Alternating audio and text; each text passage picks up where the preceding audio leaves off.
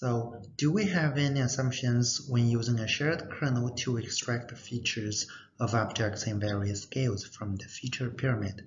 Yes, we have assumed that the feature pyramid is just like an image pyramid, where the original image just downsamples multiple times.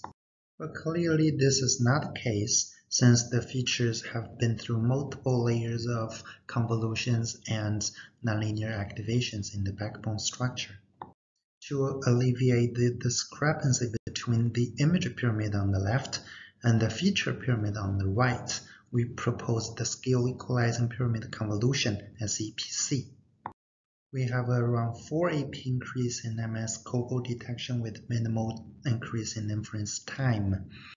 We have also achieved the state-of-the-art using single model and single scale testing.